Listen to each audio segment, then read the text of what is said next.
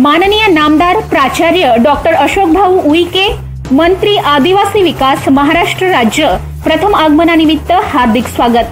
शुभेच्छुक बाळासाहेब कविश्वर भाजपा तालुका अध्यक्ष राळेगाव कुणाल भोयर भाजपा शहर अध्यक्ष राळेगाव तसेच समस्त भाजपा पदाधिकारी कार्यकर्ते व नागरिकांच्या वतीने हार्दिक स्वागत. शेतकऱ्यांना यंदाचा खरीप पीक विमा मिळावा म्हणून संभाजी ब्रिगेडच्या वतीने नुकतंच घंटानाद आंदोलन करण्यात आलं होतं. पण त्या आंदोलनाची दखल शासनाने घेतली नसल्यामुळे नाईलाजास्तव संभाजी ब्रिगेडच्या वतीने वीस जून पासून नांदेड जिल्हाधिकारी कार्यालयापुढे आमरण उपोषण चालू असून तीन दिवस लोटले तरीही या आमरण उपोषणाची शासनाकडून कसलीच दखल घेतली गेलेली नाहीये.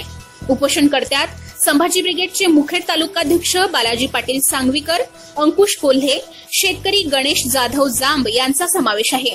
शेतकऱ्यांना त्वरित यंदाचा खरीप पीक विमा मिळावा व सरसकट कर्जमाफी व्हावी आणि यंदाच्या खरीप पेरणीसाठी शेतकऱ्यांना एकरी दहा हजार रुपये अनुदान द्यावे यासाठी संभाजी ब्रिगेडच्या वतीने वीस जून पासून आंदोलन चालूच आहे. महावॉईस विठ्ठल पाटील मुखेड नांदेड. जनआंदोलन जन आंदोलन आपण उभं केलेलं आहे. आणि जन आंदोलन उभा करून सुद्धा शासनाला याच्याबद्दल जाग आलेली नाही. म्हणून आम्ही संभाजी ब्रिगेडच्या वतीनं श- कलेक्टर साहेबाला मागे घंटानाचा आंदोलनात त्या संदर्भामध्ये निवेदन दिलं आणि घंटानाथसुद्धा केला. पण त्यावरसुद्धा याचा जाब कुणी आम्हाला दिला नाही. म्हणून आम्ही वीस तारखेपासून उपोषणाचा इशारा दिला होता. आणि कालपासून आम्ही आमरण उपोषणासाठी या ठिकाणी जिल्हाधिकारी कार्यालय नांदेड येथे बसलेले आहोत. आतापर्यंत दोन दिवस उठून गेले तरी प्रशासनाचा शासनाचा कोणताही माणूस आमच्यापर्यंत आज आलेला नाही.